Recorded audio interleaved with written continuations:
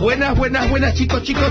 Hoy estoy histórica, histórica de la vida y les voy a hablar de una persona, personaje de principios de 1900. Vamos a decirlos así, el primer o el primer hombre trans en la historia. Y les voy a hablar de Michael Michael Michael Dillon. Para Está registrado así como el primer hombre trans de la historia de la humanidad. Vos pones así como te digo, Michael Dillon, Michael D I L L O O N y te sale todo, todo, todo, todo, todo lo que les voy a contar hoy. Nació en Inglaterra, nació en Enona, nació en Enona como el nombre bajo el nombre de Laura Maud Dillon en 1915. Fue criada por dos tías solteronas pesadas, pesadas de la vida y pronto se dio cuenta que su cuerpo no coincidía con lo que ella percibía internamente. Estaban las tías re locas, les, prohibían invitar amigos, jugar con amigos. No, no, porque no, no, no, no, no, no, porque se van a reír de vos. Las tías eran buena onda. No vengan a casa porque se van a reír que son medio marimacho, nena. Así le decían las pibas. Dillon en un momento dijo, basta, Michael dijo, masculinizó su apariencia, no me importa nada. Y cuando le crecieron las tetas ahí fue... Oh, una desgracia. Una desgracia, por ahí se empezó a prisionarla, toda, con, se fajó de pecho, toda, toda, toda, hasta que una compañera que de clase le comentó que esa práctica, otra mala onda en la vida, te va a dar cáncer, le dijo. Pero otra vez se resignó a las tetas, se cortó el pelo. Pobre, pobre, pobre, pobre, pero se cortó el pelo y se vestía ya directamente con ropa de varón. Con 15 años ya la empezaron a bulinear porque no, si no, no tuvo paz con la tía, no tuvo con la paz con la compañera que le dijo que se saque la faja, ¿no? La siguieron bulineando, dijera lo que dijera, la familia no le importaba nada, ella había nacido, se sentía hombre y nada, y así esta, esta es mi decisión.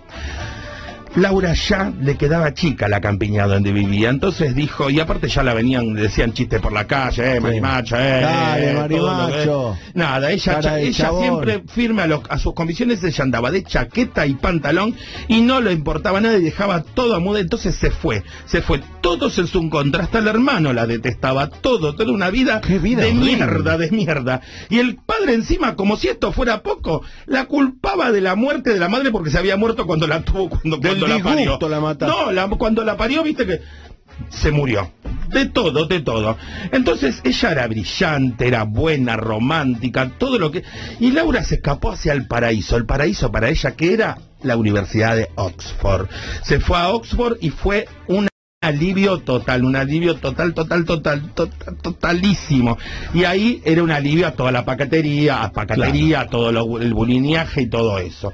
Nada, nada. Pero también no era tan woman friendly, o sea que no ah. aceptaba mucho a la mujer que digamos. O sea que era todo muy machista, pero igualmente ella estuvo ahí, no tuvo miedo, vivió en Oxford, le fue difícil, pero tuvo muchos momentos felices considerando que era lesbiana ella. Siempre vestidita de varón. Siempre vestidita de varón, iba a los bares gays, pero dejó de ir, dejó de ir porque ella no, no quería ser considerada homosexual. Ella quería ser considerada varón. varón, yo soy varón. Quería ser un hombre cis y listo. Todo el mundo hasta el espejo le mostraba, le mostraba que, se, que se veía como mujer, pero la necesidad ante todo de ser ella, es decir, él, o sea, un hombre. Ella se sentía hombre, hombre. Fue una de las pocas que tenía un nombre en el deporte, porque era deportista, pero buenísima, pero era atleta, y se caracterizaba mucho en remo. Ella remaba, remaba, remaba, y fue un brazo que te surtía un bife y te dejaba dando la cabeza vuelta. Y ahí las tetitas se confunden con pectoral. Con pectoral. Y bueno, y nada, y en ese momento también compitió en la Federación Deportiva. No, no, no, una capa total. Se destacaba mucho en el deporte. Todo, todo, todo. Nada, así ni se conocía en esa época lo que era transexual y lo que era disforia de género olvídate. No, otra época. Olvídate. Comienzo del siglo pasado. Claro, Laura estudiaba medicina y sabía mucho de la química del cuerpo. Entonces comenzó a hormonarse en 1939. ¿Qué chava? Que se hormonizó con testosterona, que se dio a lo loca. Fue a consultar a un señor. Me da que le daba hormonas a granel. Hasta que en un momento no le dio en la tecla, ella le afanó un montón de, de, hormonas, de frasquitos y se empezó a dar loca, loca, loca, loca. Y la metamorfosis que ella quería, la logró. Bigota hasta, hasta barba, no, una barba que, Si hoy hay algún eh, chico que quiera empezar ese proceso, que, vaya a un endocrinólogo, ¿no? Ya te dan, a un endocrinólogo. Creo que te dan la, la, medicación gratis y te asesoran, me parece. Sí, sí. Estaba muy consciente de que era un hombre. Ella quería, nada, soy un tipo, soy un tipo, nada a su alrededor, nada comparable. Estaba bien educada, vestía, ya se vestía con traje de pana, fumaba en pipa, todo, todo, todo. Y se empezó ahí a llamar Michael Dillon. No se iba a quedar así de tranqui. Ah, Miguelito, Miguelito. No, se iba a quedar así de tranqui con que me visto de tipo y listo. Ella quería un miembro, quería, quería tener pene como ah. loca. Y se contactó con un médico de la época que se llamó Harold Gills, que era un médico, un cirujano plástico muy talentoso que en la época de la guerra recompuso a muchos soldados que habían sido lastimados por bombas, por, por tiros y por todo. Mutilados. Mutilados y él reconstruyó mucha gente. Así que prometió ayudarlo y así lo hizo. Primero hizo una mastectomía, le sacó los pechos. No era ningún Gil. No, no, no, no era Gil, es Gil. ¡Wow! Está muy Carlitos. Este. no le, le hizo, más y le hizo y le hizo un empene en estado de semi-erección, que para la época. ¡uh! Tremendo. Pensando que tendría relaciones sexuales, le dijo, por favor, Michael, salí más, empezate a, empezate a juntar con, con chicas y todo eso. Era tan feliz que le fue a contar a su hermano. El hermano cuando lo vio, esto es un papelón acá en Inglaterra, andate de acá y le exigió renunciar a la, a la herencia y andate de acá. Y hasta que conoció a una mujer trans que se llamaba Roberta Cowell. Dillon creyó que Cowell era el primer hombre dispuesto a someterse a una, a una cirugía para ser mujer. Él ya, ya, era médico.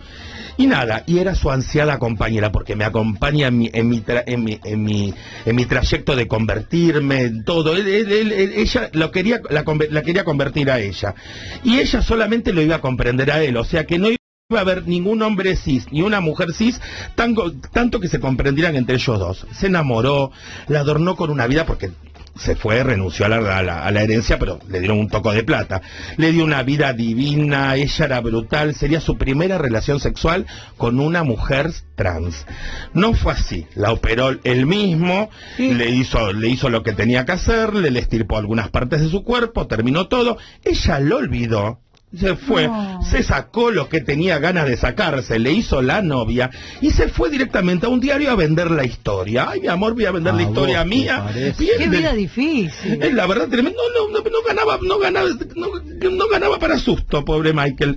Pero bueno, en un momento curioso el del cagazo de toda la, de toda la publicidad que le podían llegar a dar a él. Él escapó como loco, recorrió el mundo, regresó a Inglaterra, un chimentero lo encontró y explotó la noticia a él en todo todos los diarios.